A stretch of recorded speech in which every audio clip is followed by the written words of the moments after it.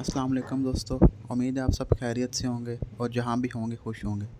दोस्तों, आज का हमारा ये सवाल कि कब्र में सवाल व जवाब और अज़ाब के मुतालिक कुरान करीम क्या कहता है?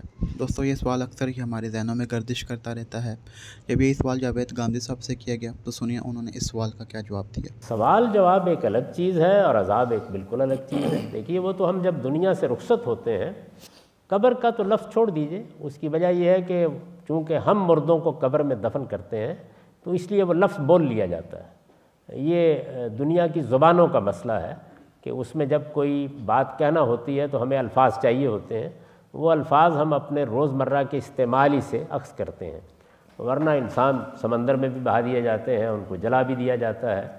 अल्लाह ताला ने कुरान में हमें ये बताया है कि जब मौत वाक़ होती है तो ये जिस्म, ये तो छोड़ दिया जाता है। यानी इसको दफन कर दें इसको जला दें इसको फेंक दें इसको परिंदों के सामने डाल दें। बहुत सी कौमें हैं कि जो परिंदों के सामने डाल देती हैं गिद्ध खा जाते हैं। तो इस वजह से ये कोई ज़ेर बहस नहीं है ना कब्र ज़ेर बहस है। जो हमारी असल शख्सियत है जिसको इंसान कहते हैं जो कुरान कहता है कि बच्चे को भी 120 दिन के बाद माँ के पेट में दी जाती है जिसके बारे में बताया है कि कई नस्लों के बाद जब इब्तदा में इंसान पैदा किया गया तो कई नस्लों के बाद वो शख्सियत आदम हवा को दी गई थी। उससे पहले भी हैवान इंसानों की कई नस्लें पैदा हो चुकी थी। तो इस वजह से वो जो शख्सियत है, वो अल्लाह के फरिश्ते निकाल लेते हैं। वो शख्सियत एक ज़िंदा शख्सियत है। वो शख्सियत है जिसके साथ अल्लाह ताला ने इस दुनिया में आने से पहले वो मुकालमा किया था जो कुरान में है। पूछा था उनसे कि, अलस्तो में रब मैं तुम्हारा रब नहीं हूँ। और उन्होंने जवाब दिया था, कालू बला हाँ क्यों नहीं आप हमारे रब हैं? वो शख्सियत है जिसके बारे में कुरान कहता है कि पूछा था मैंने हर एक से कि मैं ये इख्तियार देने वाला हूँ तुम्हें तुम्हें आजमाइश में डालने वाला हूँ। तो उन सबने उसको कबूल किया था आगे बढ़कर। तो वो जो असल शख्सियत है इंसान की, ये मुकालमा उसके साथ होता है। और बिल्कुल ऐसे ही होता है, जैसे आप अमेरिका में दाखिल होते हैं या यहाँ से जाके पाकिस्तान में दाखिल होते हैं तो आपसे इमिग्रेशन वाले पूछते हैं, चंद सवाल ये वही सवाल हैं। यानी ये कोई अजाब का सवाल नहीं है। एक इंदराज हो गया आपका, पूछ लिया उन्होंने कि भाई आप कौन हैं, कहाँ से तशरीफ़ लाए हैं, आपके कागजात देख लिए। जाने दिया, वो यहाँ रख दिया जाता है। जहाँ रख दिया जाता है जाके, कहाँ रख दिया जाता है? अल्लाह ताला ने नहीं बताया। लेकिन जहाँ रख दिया जाता है, उसी को असल में कब्र कहते हैं। वो असल कब्र वही है, जहाँ पर इंसान की शख्सियत को डिपॉज़िट करा दिया जाता है। वो लॉकर में रख दी जाती है। वहाँ अल्लाह ताला ने कुरान मजीद में बताया है कि मैं इंसानों को तीन कैटेगरीज में तकसीम कर देता हूँ। ये तकसीम पहले दिन ही हो जाती है। एक वो है कि जो अल्लाह की हिदायत पर इस शान के साथ खड़े हुए कि उनके किसी हिसाब किताब की ज़रूरत नहीं।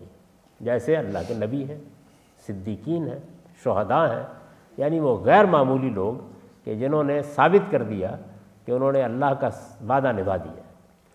तो अल्लाह ताला कहते हैं कि उनके साथ उसी शख्सियत के साथ जो महफूज की जाती है अल्लाह ताला अपनी नेमतों का अपने कर्म का आ, मामला करना शुरू कर देते हैं। यानी जिस तरह से हम ख्वाब में जब सोए होते हैं हमारा जिसम मअतल हो जाता है उसमें बड़ी नेमतें हमको मिलती हैं कभी बाज़ों का तजियत भी होती है। तो उस तरह की एक कैफियत में बहुत नेमतें मिलनी शुरू हो जाती हैं। इन दरब हम युरजकून जैसे कुरान ने कहा।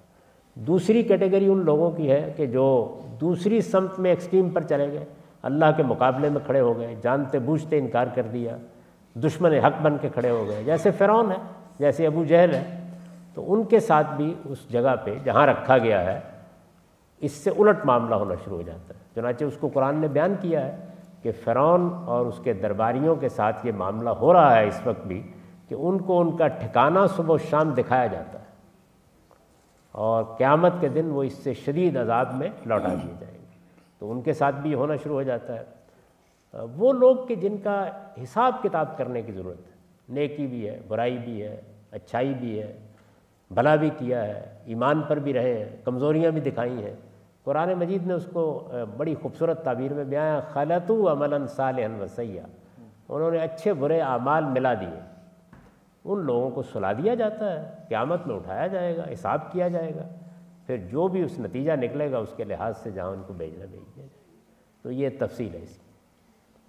उम्मीद है दोस्तों, आपको ये मुख्तसर सी वीडियो पसंद आई होगी। इस तरह के मज़ीद इन्फॉर्मेटिव वीडियोज़ के लिए मेरे चैनल को लाइक और सब्सक्राइब करें। शुक्रिया।